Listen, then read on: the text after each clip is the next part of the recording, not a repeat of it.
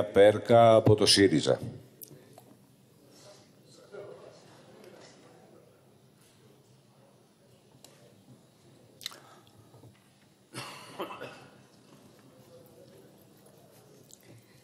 Καλησπέρα σας, αγαπητοί συνάδελφοι. Σήμερα εμείς νιώθουμε και απευθύνομαι στους βουλευτές της Νέας Δημοκρατίας ότι μας κάνετε πλάκα. Αυτές τις μέρες, μάλλον. Δηλαδή, διαβάζουμε, διαβάζουμε ότι το, υπο... το υπερταμείο δεν υποθηκεύει τελικά την περιουσία του ελληνικού δημοσίου, αλλά αποτελεί εργαλείο για τη στήριξη της ανάπτυξης. Το μαξιλάρι, το γνωστό, έχει συνεισφέρει, λέει, σημαντικά στη μείωση του κόστους δανεισμού.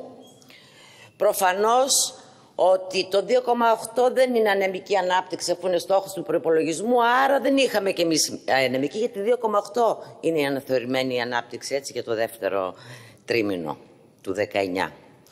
Επίσης, ότι η συνταξιοδοτική, ότι δεν ήταν, δεν βγάζαμε λιγότερες συντάξεις, ήταν μειωμένη η συνταξιοδοτική δαπάνη, γιατί βλέπουμε τώρα ότι είναι μειωμένη κατά 200 εκατομμύρια περίπου. Άρα ο κύριος Βρούτης θα βγάλει λιγότερες συντάξεις από εμάς. Για να μην πούμε για το δημοσιονομικό κενό το οποίο ήταν τόσο μεγάλο ώστε κατευθείαν δώσετε 200 εκατομμύρια ευρώ για έμφυα, εκ των οποίων το 136 θα παίρνετε πίσω με τις αντικειμενικές αξίες. Και η συνεισφορά πέρα από τα 260 εκατομμύρια που δώσαμε εμείς για τον έμφυα είναι γύρω στα 60. Επίσης όμως μάθαμε ότι η κυβέρνηση του ΣΥΡΙΖΑ, μάλλον είναι η πλάκα που συνεχίζεται, περιέκοψε το πρόγραμμα δημοσίων επενδύσεων, λέει, προκειμένου να πετύχει δημοσιονομικούς στόχους σε βάρος της ανάπτυξης κτλ κομμένο το πουδέ. Επίσης, και είναι πολύ σημαντικό, γιατί ένα είναι το πουδέ και ένα είναι η, η, απορρόφηση του πουδέ. Το 2018 λοιπόν έφτασε στα 6.237 εκατομμύρια. Προφανώς κατά τη γνώμη ήταν μια χαρά γιατί για το ε, τώρα προβλέπεται ότι θα εκτελεστούν 6.150 εκατομμύρια. Προβλέπεται δηλαδή υποεκτέλεση του ΠΟΥΔΟΕ κατά 600 εκατομμύρια ευρώ. Θα κλείσει δηλαδή χαμηλότερα από το 18, αν και το πρώτο εξάμεινο του 19 η κυβέρνηση ΣΥΡΙΖΑ παρέδωσε εκτέλεση δαπανών κατά 500 εκατομμύρια αυξημένες από το αντίστοιχο του 18. Είναι πολλά νούμερα, αλλά είναι ένα το συμπέρασμα. Η αλήθεια είναι ότι με την πολιτική αυτή που ακολουθείτε και θα αναφερθώ συγκεκριμένα, δεν το βλέπω εγώ ούτε το 650 να το πιάνετε. Και βεβαίως αυτό υπονομεύει και την ολοκλήρωση και απορρόφηση του ΕΣΠΟ το 2023. Εδώ θα πρέπει να πούμε ότι υπάρχουν έργα παγωμένα. Και μιλάω και για εντάξεις ε, δράσεων ε, επιχειρηματικότητας, για πάγωμα έργων των δικτύων λόγω και ιδιωτικοποίησης της, της ΔΕΔΑ, των υποδομών, αλλά θα αναφερθώ ιδιαίτερα στο Υπουργείο Υποδομών και Μεταφορών. Εκεί βλέπουμε μια δραστική περικοπή στο εθνικό σκέλος κατά 82 εκατομμύρια και στο συγχρηματοδοτούμενο κατά 255. Δηλαδή έχουμε ένα ιστορικό χαμηλό για αυτό το Υπουργείο με 337 εκατομμύρια περικοπή. Βεβαίως, γίνεται περικοπή γιατί έτσι θα βγει και καλύτερη απορρόφηση με τα βαλτωμένα έργα και θα αναφερθώ.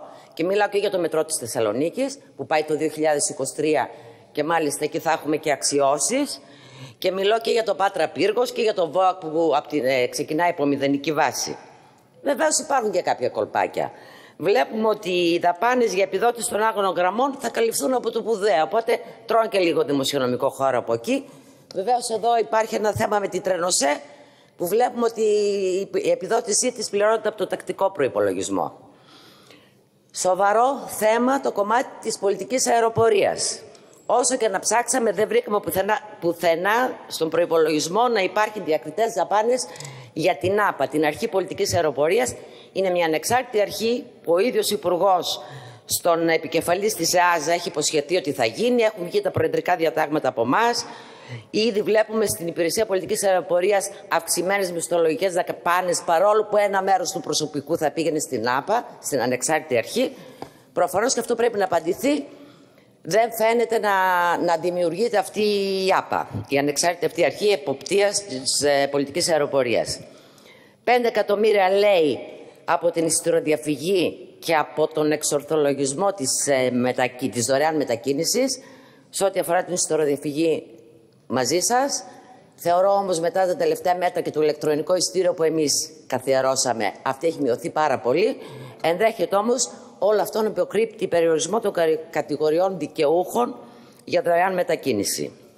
Και μια και μιλάμε για τις συγκοινωνίες, θα ήθελα έτσι ένα εξορθολογισμό στα δρομολόγια του μετρό και του ηλεκτρικού, γιατί πραγματικά υπάρχει πρόβλημα. Με το προλογία του για τον ΟΑΣΤ, καταργήστε την ΑΣΥΦ, παρόλο που στο προπολογισμό κάπου αναφέρεται, είναι δηλαδή και πρόχειρος, αναφέρεται μέσα, την πάτε τρία χρόνια μετά. Αυτό αμέσως φαίνεται ότι παρασύρει ούτως ή άλλως έχουμε πει και το μετρό Θεσσαλονίκη θα πάει το 2023. Συγχρόνως δίνουμε γραμμές στο κτέλ, άρα φροντίζουμε και για την κερδοφορία των κτέλ. Ακούστε τι συνάδελφοι, οι μεταφορές αποτελούν ένα πολύ ανερχόμενο αλλά και πολύ δυναμικό κλάδο της οικονομίας. Μπορεί να συμβάλλει πολύ σημαντικά στην αύξηση του ΑΕΠ, αλλά σε ελκυστικό στρατηγικό σχεδιασμό και αξιοποίηση των συγκριτικών πλεονεκτημάτων της χώρας η αύξηση του εμπορίου, των εξαγωγών κτλ. Απαιτείται μια πολύ στοχευμένη δράση logistics. Εμείς έχουμε κάνει ένα action plan. Λοιπόν, έχω κάνει ήδη μια ερώτηση για το στρατόπεδο Γκόνου, το οποίο ξαφνικά ο Πρωθυπουργός, χωρίς να εντάσσεται σε κανένα σχεδιασμό, είπε θα το κάνει ελεύθερη οικονομική ζώνη. Έχουμε κάνει ερώτηση για το flyover, την εξωτερική περιφερειακή της Θεσσαλονίκης, η οποία επίσης δεν εντάσσεται σε κανένα σχεδιασμό. Εάν συνεχίσουμε όμως να κάνουμε πάλι έργα που δεν είναι μετρημένα, που δεν εξυπηρετούν συγκεκριμένες ανάγκες, δεν θα πάει πολύ καλά. Ούτε η οικονομία, ούτε σε αυτό το επίπεδο. Μία κουβέντα μόνο για το επίδομα θέρμανσης, γιατί αφορά και τη δική μου περιοχή, τη Φλόρινα. Ξέρετε πόσα δίνει μια οικογένεια για να ζεσταθεί. Βλέπουμε στο προπολογισμό λοιπόν ότι είναι μειωμένα, λέει, γιατί έδωσαν δώσει πολλά στο 19 και στο 20 0.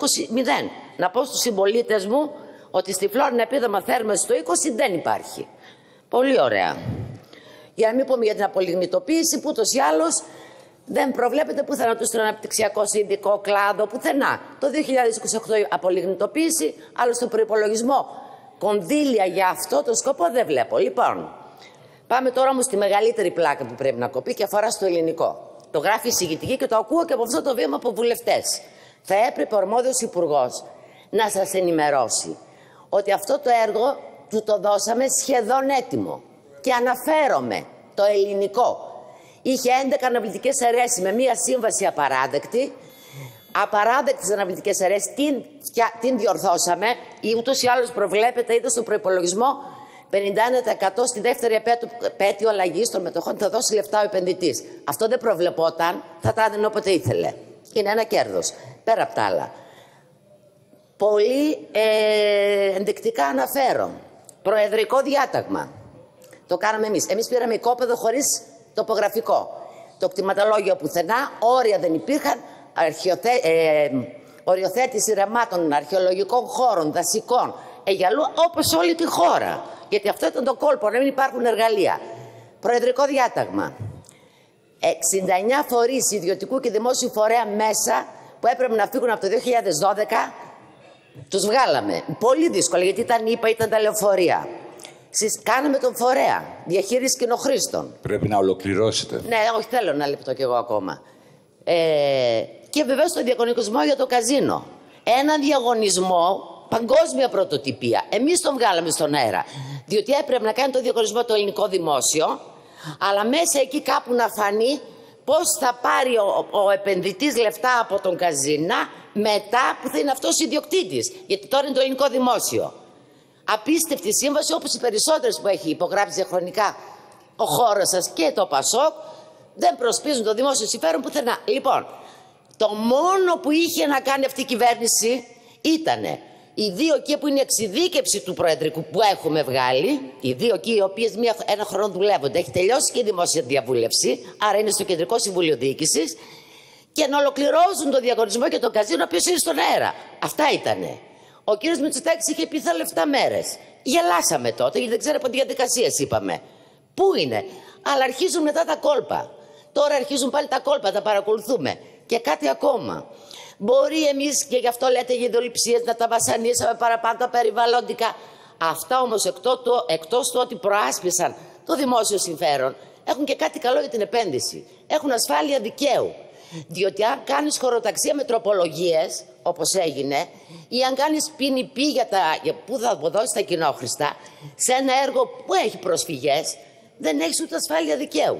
Εν πάση περιπτώσει, εγώ θα ήθελα πάντως όποιος βουλευτής ξαναναφερθεί ότι έχει τελματώσει το έργο και το ξεμπλοκάραμε εμείς, να έρθει να κάνουμε μια κουβέντα. Ευχαριστώ.